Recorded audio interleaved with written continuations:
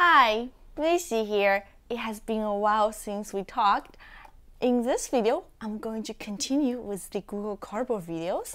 What we are going to do is porting our 3D VR games onto the new iPhone with the new Google Cardboard. In order to deploy any software on our own iOS devices, we actually need to sign up for Apple developer account. It is 99 US dollars per year. If you're not willing to pay this fee, just skip this video and uh, watch the other one for Android if you happen to have an Android device.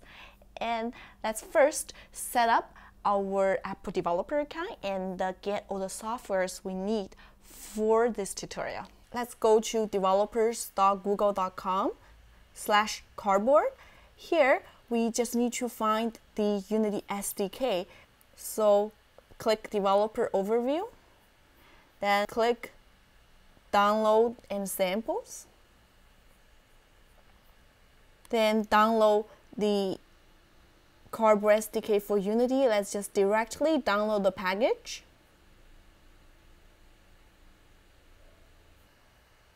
And then we need to also download the demo and click the direct link to Unity package.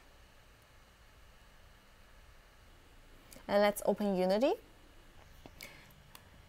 Let's click Assets, click the import package and choose custom package. Let's find the package we just find. In our download folder, it's the cardboard SDK for Unity the Unity package and click open.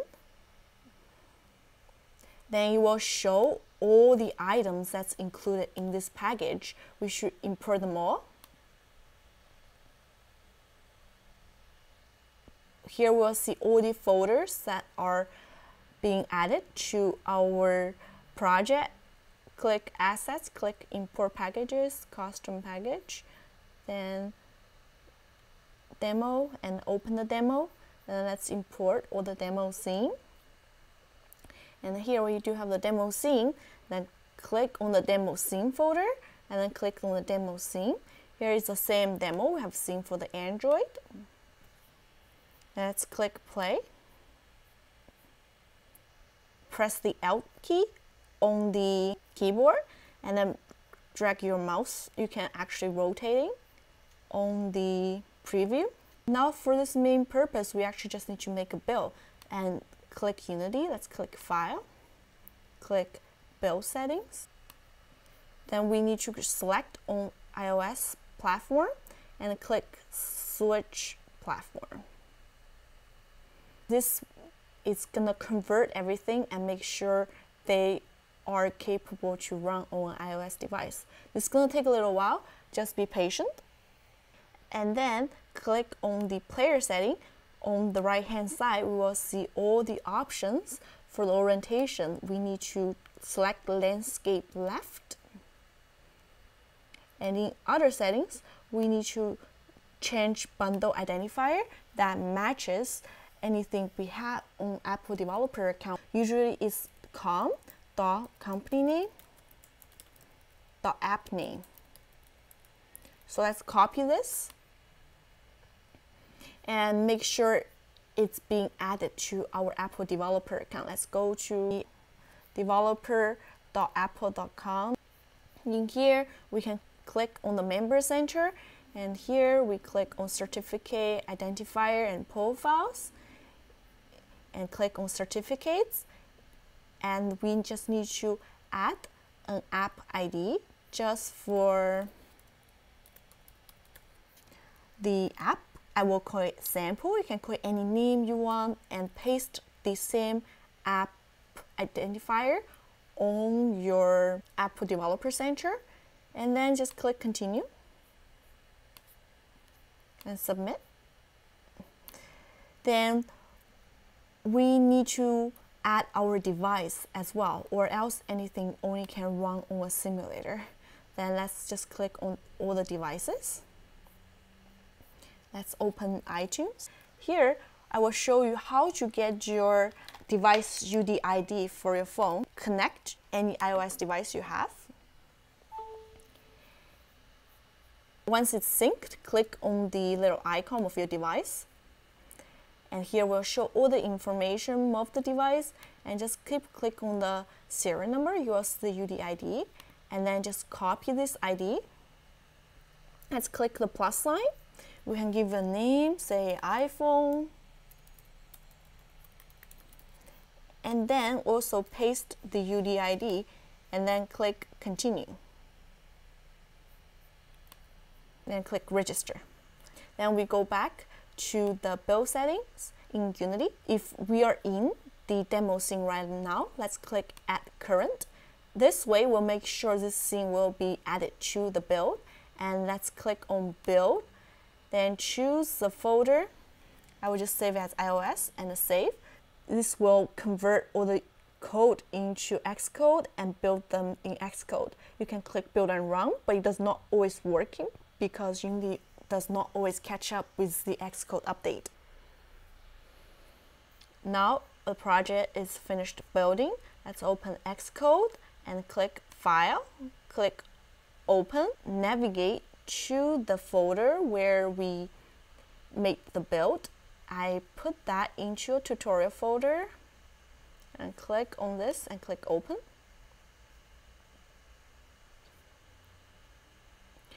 Xcode does not update itself automatically so since we just added a new app ID we actually need to refresh our identity so click Xcode click preference make sure you're logged in with your account if you're not press the app sign and click on add Apple ID, which is account you registered with your Apple developer account. Then I will just select the one that I had and choose the company and click on view details and then just click the little refreshing icon. This way it will add all the new app ID I just added on my Google developer account and I can finish everything, make sure everything's up to date this way, when you're making a build, you're not going to get any errors. And then click the folder of the project. Here it has no team, so I will choose the team with the right company name and everything. Make sure it's no any error. And here you can see in the setting the device orientation is landscape right. Do not change it. That's actually how it should be in order to have that working. And let's connect your phone so my phone is connected and just click the play button. This Xcode will go through its build and then make a build on an iPhone. So we'll wait and see how it is running. Let's open the build I just made. In Unity. We need to set up the cardboard so I have the latest one which is just released in Google I.O. this year. And let's click next button. Okay you want to scan the code? Because this is the one. Then place your phone into your viewer. Let's see how it works on the iPhone. So we first need to find the target. Here is it. I feel I'm doing a yoga press disappeared where's the other one here yep find you find you. It's very quick. And it's great. Working. I hope you enjoy this video and your game is running perfectly on the cardboard right now. And a little update, we are going to put a Unity course on Academy. The course is going to aim for people who never made a game before. I will show you from the very beginning of the Unity editor into how to code in C Sharp. I will keep you all posted on the progress. See you next video. Bye for now. In this video, I will share you with my experiences on promoting the game and also collecting feedbacks at events. Couple weeks ago, I went to East with my friends to set up his booth to promote his indie games. It was a very very interesting experiences because most of the times as me a game developer I only go to game developer conferences